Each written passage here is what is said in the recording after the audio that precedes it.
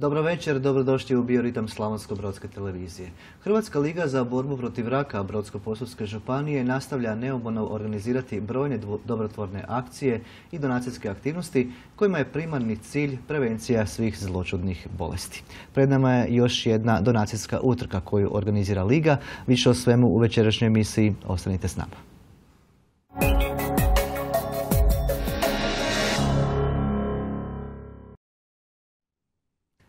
Poštovani gledatelji, meni je osobita čast i zadovoljstvo u studiju Bioritma pozdraviti naša dva gosta. S nama su predsjednik Županijske lige za borbu protiv raka, gospodin Darko Katić. Dobro večer, dobrodošli. Dobro I profesor doktor znanosti Davor Inđanić, do predsjednik lige. Dobro večer, dobrodošli. Dobro večer, dobro večer.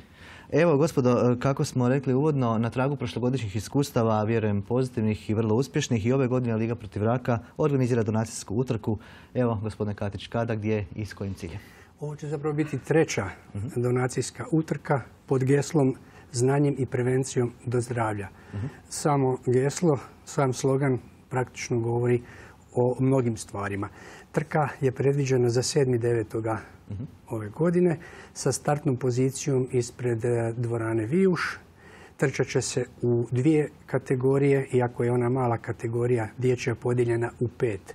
Znači prvo će u 9 sati klinci trčati 200 pa do 1000 metara u pet različitih kategorija, a onda će svi ostali, dakle odrasli, trčati, šetati, hodati od 10 sati do poloja i nazad u dvije grupe, znači jedna pet, a druga 10 km. Cilj je opet na Vijušu i nakon e, što se pojavimo na cilju, predvidjeli smo jedno malo iznenađenje, pošto je riječ o zdravom životu, o zdravom načinu e, kroz sport, koji je uvod praktično i u preventivu i preventivno djelovanje protiv malignih bolesti, e, bit će to nešto na eko bazi. Mhm. E, prijave teku do 22. ovog mjeseca. Trenutno smo sa preko 240 prijavljenih mhm. brođana, brođanki i njihove djece.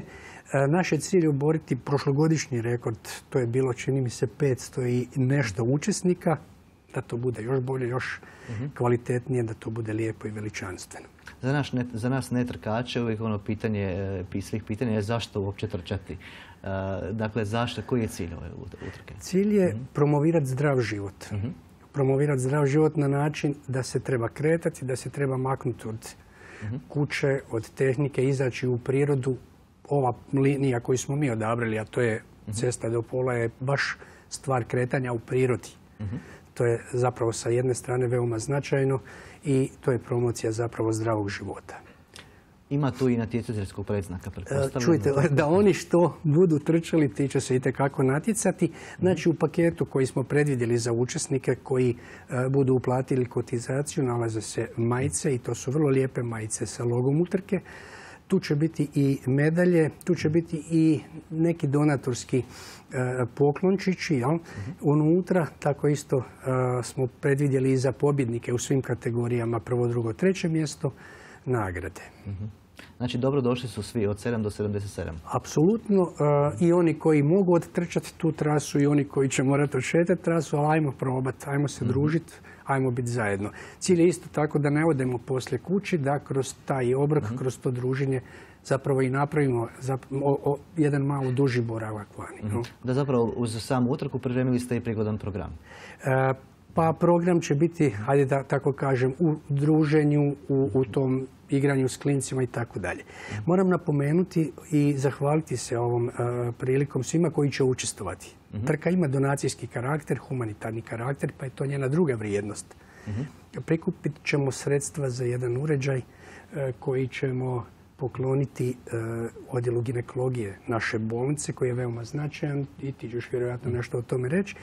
A, I zato zahvaljujem prvenstveno sponzorima, to su dva sponzora, Zagrebačka banka i Pliva i cijeloj seriji donatora, svi ostali će ići u formi donatora, pa smo tu Mhm. pripremili jednu malu ovako lijepu stvarčicu. Naime, u, posjedu smo jednog uh, Mandžukićevog dresa s potpisom.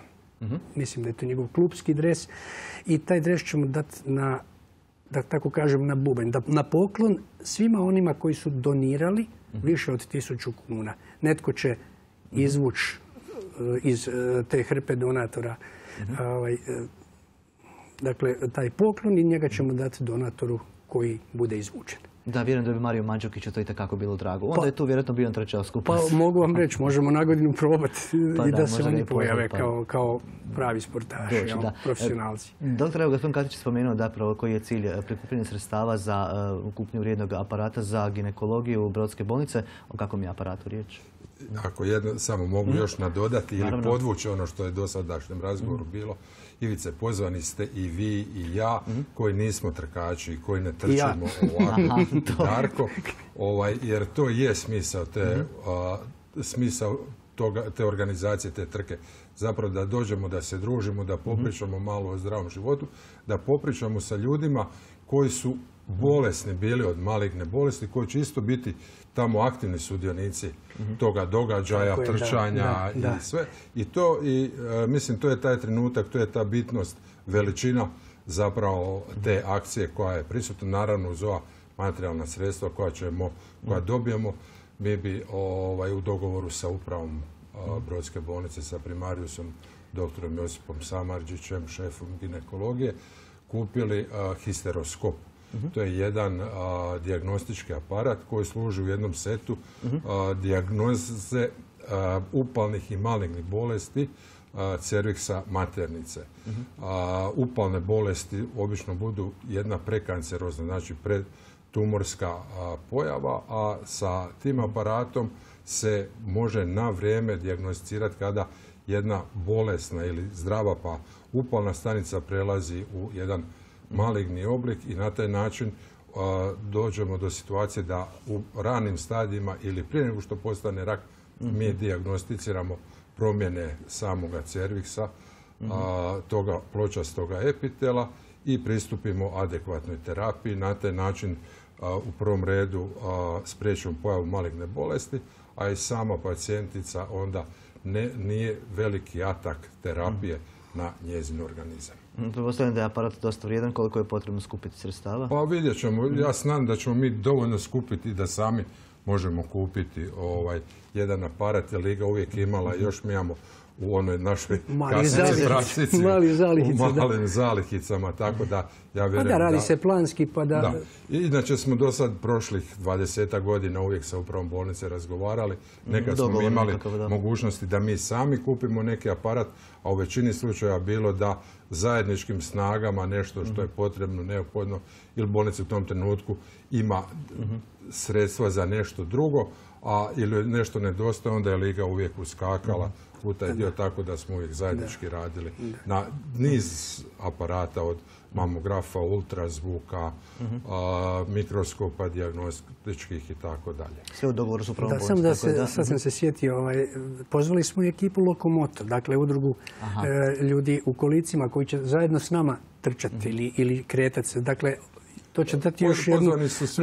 Da, znači. tko su zapravo organizacijski partneri u svemu tome? E, to ste dobro rekli. Dakle, zahvaljujem se školi trčanja Slavonski brod, Mhm. koja u onom tehničkom dijelu daje kompletnu podršku. Ipak su to profesionalci koji Mhm. svakodnevno rade e, e, takove utrke, pa će nam u velikoj mjeri kao i dosadašnjih godina pomoći da stvari teku onako kako treba. I motivirati opet nas, ne trkače. Ja. Upravo tako, da. Ovo je vaša prva utrka kao predsjednika Lige. Bili ste i prošle godine kao član. E, samo sam Samo ste došli gledati. Da. sa strane, da, ali evo ovo je baš Sad ćete onako, trčati, da, da. To je dobro. Prva, prva utrka kao predsjednika Nove Lige, to smo morali napomenuti svakako, nedavno ste izabrani za predsjednika. Je, tako Lige, da. iako ste već bili u etapu u jednom, jednom mandatu. E, Ne, ja sam Niste? bio samo u skupštini. Znači, kod nas u Ligi je to jedan kontinuitet. E, m, A da kažem tako, došao je red na mene. Jel? Mhm. E, Do sad da sam ja bio u onom zadnjem ešalonu koji je u okviru Đure Đakovića i montaže uvijek bio u prvim borbenim redovima kada smo prikupljali sredstva. Mhm. Hvala Bogu, mi smo to mogli i uvijek smo htjeli i tu smo mi uvijek bili kroz, ta, kroz taj, da kažem, dio sam zavolio praktično tu humanitarnu djelatnost, tu ljepotu pris- skrbljenja davanja, a kako godine idu, sve više sam i zainteresiran za preventivu, iako nije preventiva samo za nas e, koji smo malo stariji, nego i za mlade i tekako. I sad taj jedan kontinuitet evo, je došao do toga da je došao moj mandat. Da niste mogli odbiti Ali iza mene Mhm. dolazi isto tako, odnosno iza nas jedna predivna mlada ekipa koja će onda vjerojatno u sljedećem mandatu nastaviti taj humanitarni trend. Mhm, Dobro ste motivirani, moram primijetiti. Svaka nisu mi slučajno ovaj, gospodina Katića izabrali, jer se u Ligi ne događa ništa slučajno. Ja to moram reći. Nego po zaslugama, vjerujem. Po zaslugama, on je dio još onog Đure Đakovića, moćnog Đure Đakovića Mhm. koji je stavio iza cijelog grada Slavonskog broda i znali smo ono pričati, ovaj, kad Đuro kihne onda se trese cijeli, Cijeli grad. da. A, a gospodin Antun Milović je bio jedan od prvih Đurinaca koji je bio predsjednik, pa gospodin Blekić, a Darko se je dokazao kao izvrstan gospodarstvenik i sposoban čovjek, Hvala. organizator i mi smo u Ligi imamo običaj da mi liječnici ne budemo ovaj, na prvom mjestu u Ligi, mi budemo prateće osoblje, a pustimo da tako kažem civilnom sektoru da, da vodi da ovaj, budu čelni. Znači oni su zvijezde, vi ste back vokali. Tako je, oni, mi smo shvatili da oni imaju novaca pa zato, ovaj, da bude Na vrijeme shvaćeno. E, Kad ste već spomenuli tako gospodina Milovića i e, ostale e, šefove lige i Blekića koji su bili predsjednici lige, dobro je možda podsjetiti se možda nekako najvećih uspjeha ovih više od pola stoljeća rada lige u Brodu. E, Koji su to bili Pa najveći je, uspjesi? Što ste to kroz donacije, humanitarne pomoći, edukativne aktivnosti u prevenciji ostvarili u određenim kontaktima? Znate, prošle godine smo imali nekoliko emisija i kod vas smo puno pričali o tih proteklih 50 godina i to je divnih 50 godina ovaj, jedne ovake humanitarne udruge koja je vrlo aktivna i koja, opet moram reći, jedna od najaktivnijih u, u Hrvatskoj kao županijska liga zajedno uz Dubrovnik, zajedno uz Osijek, Zadar. Brod je predvodnik ovaj, tih humanitarnih aktivnosti. I zapravo a, Liga je uvijek neki skup ljudi entuzijasta koji žele sa svojim radom, neću reći svojim viškom vremena, ali svojim radom da pripomognu široj zajednici da ta zajednica bude manje bolesna. A, mi pokušamo da pričom i našim aktivnostima o prevenciji i ranom otkrivanju raka stvarno dovedemo da taj dio zdravstva ovaj, bude puno bolji nego što je danas. Svjedoci smo da oko nas smo svjedoci da sve češće i sve više ljudi oboljeva od malignih bolesti. Puno je tu rizičnih faktora kroz koje prolazimo od našeg načina sresnog življenja, zagađenog okoliša, nas samih koji imamo neke ružne navike, pušimo, uzimamo previše hrane, premalo se krećemo i sve to dovodi do promjene određenih staničnih procesa u našem organizmu. Jedna normalna stanica prelazi u jednu agresivnu malignu tumorsku stanicu koja jede znači, naš organizam i dovodi do prerane ili invalidnosti i na kraju ovaj i smrti. Stoga edukacija svemu tome Stoga imperativ. edukacija je, je imperativ, odnosno a, ja ću ponovo reći prevencija, prevencija, prevencija i rano otkrivanje, rano otkrivanje, rano otkrivanje, to bi nam bio ovaj osnovni cilj. Jer na taj način možemo prevencijom barem 30% ljudskih života spasiti i ranim otkrivanjem raka 30% ljudskog života, ljudskih života spasiti. To je 60% bi bila smrtnost manja. Ako znamo da u Hrvatskoj svake godine od a, posljedica recimo pušenja i nastanka malignih bolesti umre 16 tisuća ljudi. To vam je red veličina jedne nove gradiške, jednoga Đakova, jednoga Omiša. Svake godine zbog pušenja i nastanka karcinoma mi izgubimo jedan takav grad. Neću reći gradić, već grad. To je za jedno društvo veliki gubitak. S time da je za liječenje, ne samo da smo izgubili čovjeka, već i za liječenje je utrošeno jedna masa sredstava koja može se upotrijebiti za puno korisnije, za poboljšanje životnog standarda, kvalitetniji život, edukacija, škole, za škole, naša djeca, ulaganje u našu djecu. Tako da Hrvatska liga baš ide sa ovom pričom i moramo stalno pričati o prevenciji i ranom otkrivanju malignih bolesti da bi bili ovaj onda nešto uspješnije društvo nego što smo Zahvaljujući svim tim akcijama koje ste do sada odra- odradili ih sve ovo vrijeme, možemo reći za primarno brodsku bolnicu da je itekako napredovala kroz evo, i donaciju brojnih Pa, mi medicinskih smo uređaja. suport, aparata. znate, Mhm. mi smo suport, mi, a, većina nas liječnika koja radi, radi u bolnici. Zapravo Mhm. to su dva komplementarna posla, tamo smo zdravstveni profesionalci, ovdje smo volonteri, amateri, koji želimo na jedan i na drugi način da podignemo znanje, da spoznaje o, malignim bolestima, da što više ljudi dovedemo na preventivne onkološke preglede i na taj način da otkrijemo što više malignih bolesti u ranoj fazi te tumorske pojavnosti i onda da liječenje naše bude što lakše, a rezultati da nam budu što bolji. Pamtite li koji je bio najvredniji uređaj koji ste donirali Brodskoj Pa najvredniji uređaj je bio, tada je bio i gospodin Milović, tada smo zajedno i montaža je puno ovaj, dala tu, to je bio mamograf, to je bilo u ono vrijeme negdje oko 120 tisuća eura ovaj, nekih, to je bila velika vrijednost, to smo zajedno sa bolnicom kupili. Kupili smo nekoliko ultra, dijagnostičkih ultrazvukova. Kupili smo isto prije jedno deseta godina jedan histeroskop koji mislimo sada kupiti. Kupili smo mikroskope, kupili smo, recimo konkretno na mom odjelu, ovaj, dijagnostički jedan fiber endoskop, onda nekoliko aparata za kirurgiju i tako.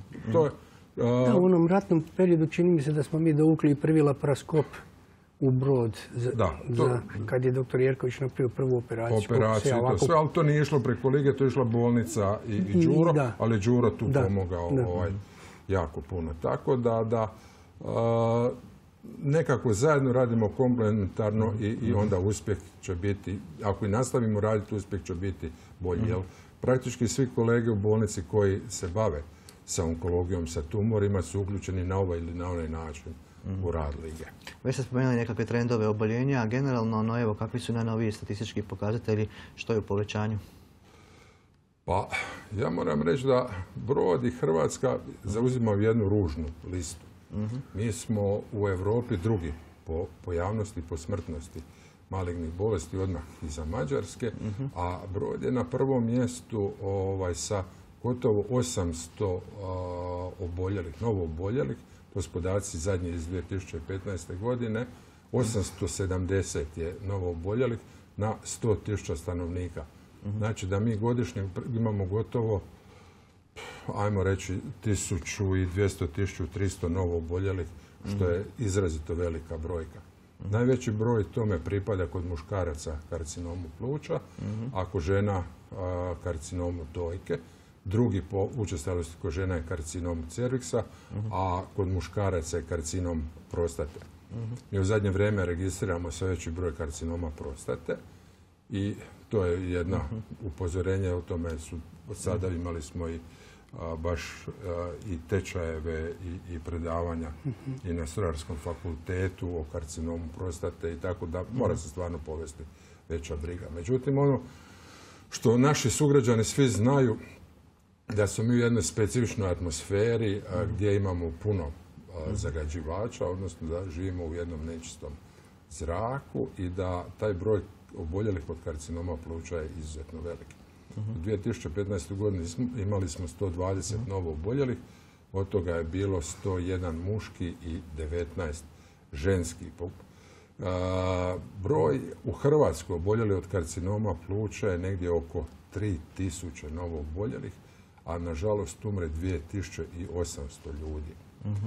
karcinom pluća je inače karcinom koji se teško otkriva u ranom stadiju i mi nemamo do sada razrađene metode detekcije ranog stadija karcinoma pluća i većina tih pacijenata se javlja u kasnijim stadijima. Kada operacija nije moguća, onda se ide na različite kemoterapije, biološke lijekove i imunoterapiju ali ti, moramo priznati, rezultati nisu zadovoljavajući. I zbog toga, evo, sad je možda prvi puta ćemo pričati kod vas u ovoj emisiji, za deveti mjesec se sprema jedna velika nacionalna aktivnost da će se napraviti probir pučanstva Hrvatske za ranu dijagnostiku karcinoma pluća. To postoji jedan specijalni odbor koji vodi akademik Miroslav Samaržija u Zagrebu i negdje će se provesti probir u deset gradova koji imaju posebne CT uređaje. To su sa skenovima 128 CT, to je posebno kvalitetan dijagnostički uređaj koji može detektirati promjenu na plućima veličine već od pola centimetra i veće i a, ponudit će se građanima, svima koji su stariji od 50 godina i koji su žestoki, teški pušači niz godina, da se prijave kod svoga obiteljskog liječnika. Neće biti ono pozivnici kao što smo imali do sada na mamografiju za, a, ili za karcinom kolona debelog sreva da se daje dio ovaj, stolice. Neko više javno. mhm. Ne, neće više ići osobno, već će biti javni poziv. I ovo je prvi javni poziv našim sugrađanima, vjerojatno za 10. 11. mjesec ove godine, da se jave svome liječniku obiteljske medicine. On će u Cezihu dobiti poseban program i preko tog programa on će svoga pacijenta prijaviti bolnici, dobit će taj pacijent kući, onda poziv u koliko sati treba doći na posebno snimanje pluća. Kad se snimi pluća, kolega specijalista radiolog će očitati taj CT i ako nešto bude, on će uputiti ovaj, rezultat liječniku obiteljske medicine. Liječnik obiteljske medicine će uputiti toga pacijenta u jedan od pet kliničkih bolničkih centara gdje će ići na daljnje ovaj, dijagnostičku obradu i na daljnje terapiju, liječenje. Evo, to je jedan novi plan što bi trebao krenuti negdje u desetom mjesecu ove godine, a ja sad koristim priliku i vašu emisiju da evo upoznam širo pučanstvo ko gleda. Znači svi teški pušači, ne po kilama, već oni koji ovaj, puše.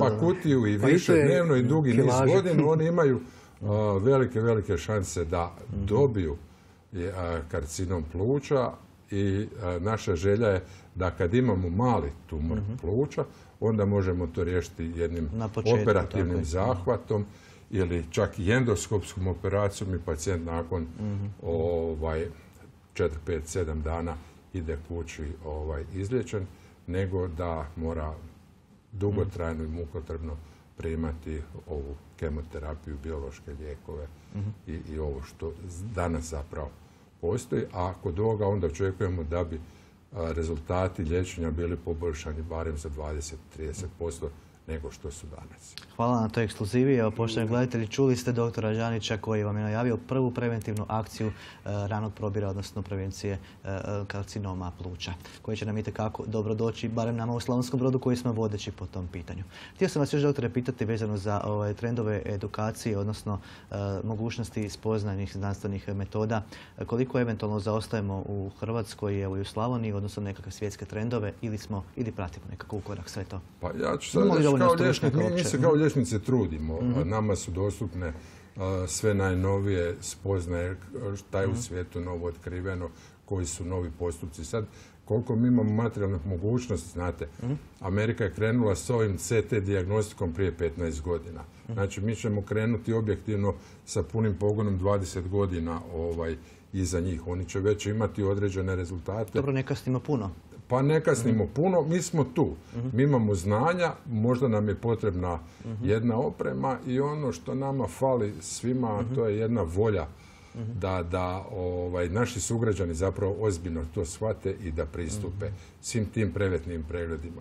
Ministarstvo zdravstva je 2011. godine uvelo na tri nacionalna programa preventivnih pregleda. To je bio karcinom cerviksa, karcinom dojke i karcinom debelog crijeva. Karcinom dojke je imao zadovoljavajući odziv, karcinom cerviksa tako tako, a karcinom e, debelog crijeva e, ljudi baš nisu ozbiljno shvatili i nisu dovoljno pristupili, tako da imam odziv negdje oko 20%, 15-20% što stvarno Imamo li mi nije- e, dovoljno stručnjaka, onkologa, subspecijalista za određene vrste Pa malignih mi bolesti? nemamo, pazite, bolesti ima sve više. A, U tom dijelu se isto ošća nedostatak a, stručnjaka kao i svim granama medicine, vidimo da, da dovoljno ljudi nema. A, nova saznanja, nove dijagnostike dolaze, nove metode liječenja dolaze za koje su potrebni ljudi. A, Neće tehnika sama od sebe raditi, Neće tehnika Da. sama od sebe raditi. A, Brodska bolnica, evo, e, ravnatelj je neki prošli tjedan imao ovaj izjavu za medije. Brodska bolnica sada ima zadovoljavajući broj a, liječnika. Sad neki su još na edukaciji, na specijalizacijama, neki su ovaj, na subspecijalizacijama. Ja vjerujem da ćemo mi to uspjeti sve na neki način poslužiti. Samo očekujemo da kad znate nekog našem sugrađaninu date određeni sat vremena da dođe za sedam mjesec dana i to se onda on treba stvarno doći da se napravi ta dijagnostička pretraga. Prvom redu on ne dođe, mi smo izgubili taj termin, a on zapravo možda i nosi u sebi malignu bolest. a Ili nekome oduzima ili mogućnost, nekome tako je, oduzima da. mogućnost toga termina da, da se napravi. Obojica ste vjerujem u stalnom kontaktu sa upravom bolnice, pa što kažu oni, e, što im je još potrebno, a da vi možete na, pomoći nabaviti? Što Pa konkretno, za konkretne stvari Mhm. Liga nema velike novce. Svaka dijagnostička medicinska oprema je A sigurno, jako- zato- jako- sigurno, zato, jako- sigurno zato jako čega nedostaje. nedostaje. Ma, znamo mi, nama i kolege naši pristupaju, Da. oni nama svaki tjedan dođu, e, Mi nemamo ovaj, kardio- jel, Dakle, jel- nam možete ovo Da, kupiti? moramo kanalizirati stvari, jel? Mi recimo nemamo kardiokirurgiju. E, Za što je, to, što je za to potrebno? A, nema, nema ni potrebe za neke stvari da svaka bolnica ima. Aha. Znate. A, to ni nije normalno. Kardiokirurgija pripada a, kliničkim bolničkim centrima, kliničkim bolničkim centrima. Mi moramo imati jaku kardiologiju, interventnu kardiologiju, a, tu dijagnostiku i terapiju. I tu je Brodska bolnica, ja mogu reći od županijskih bolnica, sigurno najjača u, u tome dijelu. I moji kolege su jako, jako puno života spasili. Evo, proteklih 10-15 godina koliko ovaj, se radi a, koronarografija, ono koja pokriva 24 sata ovaj, i, i gdje gotovo 300 tisuća ljudi a, je okrenuto prema našoj interventnoj kardiologiji. To je jako puno ovaj, učinjeno. I u nekim drugim segmentima je jako puno učinjeno, ali a, mi nećemo nikad moći imati ono što će imati sveučilišne Jasno, bolnice, ni opremu, ni, ni, ni mogućnosti. Zbog toga taj jedan dio stvarno tih pacijenata i bolesnika koje ćemo mi ocijeniti i procijeniti da imaju bolje uvjete za nastavak liječenja dalje, mi ćemo ih uputiti da oni idu dalje. Ali na nama je da onaj osnovni dio ili onaj vrlo dobri dio, mi spadamo u drugu A kategoriju bolnica. Prva kategorija su kliničke bolnice, onda se druga kategorija se dijeli na A, B, mi spadamo u A i među četiri smo Pa najveće. to je korak do klinike, recimo. To je da. korak do klinike. Ovaj, mi smo tu, imamo i ljude, imamo i opremu i mi na toj razini ovaj, radimo. Nastavili se takvim trendom, doćemo i do nuklearne medicine jednog dana, ako Bog da. Pa je, doći će do nuklearne medicine. Ona će se možda postati jednostavnija dijagnostička metoda. Pa, jer to nije samo, znate, a, nije problem kad se kaže samo nuklearna medicina. To su radioizotopi. Vi morate imati posebnu opremu za radioizotope. Radioizotopi se posebno proizvode. Oni se ne proizvode sada u Šušnjevcima, pa ćete vi njih kupiti u Šušnjevcima, pa ćete ih doneti ovdje. Tako da, da postoje, to je specifičnost jedna i, i nema. O- ono što trebamo, to trebamo dovesti na, na najviši nivo kvalitete ovaj, zdravstvene usluge, da nema lista čekanja, da su naši ovaj, pacijenti zadovoljni s time, a onda će doći i sve ove druge prilike. Ali kažem, ja već radim 40 godina u tome sustavu i, i Brodska bolnica je stvarno perjanica županijskih bolnica. A kada je, kada je nabavka opreme, dakle ovaj dio gdje mi kao liga ulazimo u, u, u, u borbu, to se zapravo rješava na, da kažemo, na vrhu. Ne može sad pojedinačno svatko, svatko bi došao i rekao treba mi evo taj, taj, taj detalj. Onda zapravo i ono sredstava što skupimo ne možemo pravo valjano iskoristiti. Tako da ćemo nakon ovog stroja koji, za koji se sad borimo, jel, jednako tako sjesti i dogovoriti šta nam je sljedeći cilj. E, Za kraj, e, pitanje vama kao predsjedniku, tko vam se i na koji način i kako može pridružiti?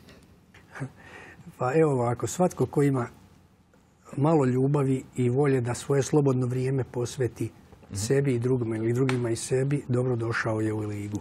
Mi smo sad na ovoj izbornoj skupštini kooptirali praktično u skupštinu nove ljude koji su sa radošću došli.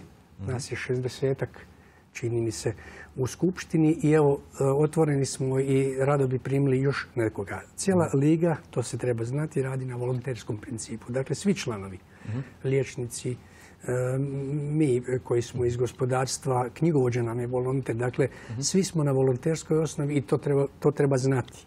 Jel?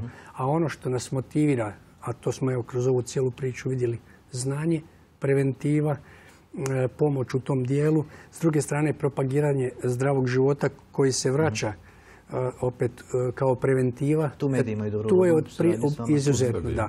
Tu je jako važno, znači da taj krug zatvorimo i da ga guramo pred sobom Mm. na korist čitave zajednice. Mhm. Inače, gdje ste locirani, gdje vam je kao nekako sjedište? A, Da, mi smo još za prošlog mandata da. dobili u ovom kliničkom dijelu bolnice na četvrtom katu svoju, svoje prostorije. To je sad fino, zaista tamo možemo odrađivati svoje sastanke mhm. Da. Evo, ako ja mogu samo se pridružiti. Ja osobno niz godina, evo, a, 30 godina sam vrlo aktivan u ligi. Mogu reći da je Brodska televizija i emisija Bio ritam aktivni dio Hrvatske lige za borbu protiv raka Brodsko-posavske To nam je drago županije. čuti, hvala. A, Članarina se ne plaća, ali vi jeste ovaj aktivni dio. Ne samo da treba postati član lige, mi imamo i puno udruga koje su pod patronatom lige kao žene oboljele od karcinoma dojke, onda osobe oboljele od karcinoma debelog creva, Razne udruge od karcinoma, limfome i leukemije. Oni okupljaju ovaj, ljude koji su obolili i koji žele pomoći jedni drugima, jer na- najbolja je ta, vidjelo se, najbolja je ta pomoć. I mi smo tu kao e, jedna krovna organizacija koja koordinira rad svih tih udruga. Ako nekome od njih nešto treba, ili materijalna sredstva ili neki drugi način pomoći, Tu ste za liga je Da, možda i ona prostorija, ona soba koju smo u Zagrebu riješili za, je Da, da, to puno reći, da. ovaj, opremu, e, jer je u Zagrebu bio kupljen jedan dvosobni stan za a, Obitelji koje su, obitelji da, da. koje Da, su pogotovo za malu djecu i sve. Onda je Liga opremila kuhinju, recimo, dala je novce da se kupi sve što treba ovaj, za jednu kuhinju stana, i tako. tako. da. Dakle, to je djelovanje Moramo na kraju. jako dobru kažem. suradnju i sa Novogradiškom uh, udrugom Lige protiv raka, tako? Tako je, Oni su i- kao vaše sastavnice Županijske lige, jel tako? Pa Oni su samostalni. Oni su Ali to samostalni. ne znači da ne surađujete. Ali surađujemo i čak Oni su koptirani i pod predsjednica. predsjednikom, njihova je predsjednica, Naš- podpredsjednica naša naše županijske lige. Tako da je to, mislim, logično da se gradišćani sigurno i gledaju nas Da. i slušaju i njih pozivamo da se uključe ovaj, gospođi Terezi Grgickom, stvarno vrlo usko surađujemo dugi niz godina. I, Da dođe na utrku svakako i oni. da, da. Pa dve godine gradonačelnik je trčao, tako da moram gospodin ovaj, Vinko Grgić je bio Doći aktivni godine. sudionik i njegovi pročelnici ureda. Evo, očekujemo Zapravo ove bilo bi godine. dobro da dođu trče svi oni koji najviše sjede. To bi bio cilj. Da. To bi bio cilj. Ok. Moramo, naše, evo, naše političare ćemo probati dići, ako dožupan ovaj, je dva puta trčao, gradonačelnik Nove Gradiške je dva puta trčao, evo. Zovemo našeg župana i našeg gradonačelnika. Može. Izaziva. Izazivamo. E, Dakle, još jednom ponavljamo za kraj. 7. rujna, tako, e, u jutarnjim satima, ispred dvorane Vijuš. 9.00 klinci, 10 odrasli. Odlično. Dobro Hvala nam vam. došli svi skupa. Da, Hvala vam što ste i vi nama došli u studiju i sve to prenijeli. Hvala. Hvala vama. Poštovani gledatelji, e, predsjedništvo e, Županijske lige protiv raka, gospodin Katić i dr. Đanić, bili su nam gosti u večerašnjem bioritmu. Hvala vam što ste nas pratili. Budite s nama i sljedeće srijede u istom terminu. Do tada, lijep pozdrav.